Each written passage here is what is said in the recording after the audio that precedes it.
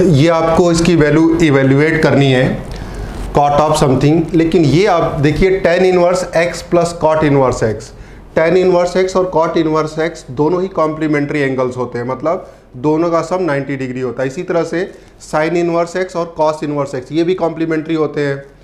तो खैर, हमें तो यहाँ पे टेन इनवर्स एक्स और कॉट इनवर्स एक्स क्या है? का सम है तो ये कॉम्प्लीमेंट्री होता है। हम इसकी जगह पे क्या लिख देंगे? इनका सम पाई बाई टू लिख देंगे। तो ये आ जाएगा आप cot of pi by two और कॉट पाई बाई टू की वैल्यू चलिए इसको लिख लेते हैं cos pi by two upon sine pi by two अब कॉस पाई बाई टू कितना होता है? कॉस पाई बाई टू होता है ज़ीरो कॉस 90 डिग्री और साइन पाई बाई टू कितना होता है? वन और ज़ीरो बाई वन कितना होता है? ज़ीरो होता है। ठीक है? तो ये सिंपल सा क्वेश्चन था।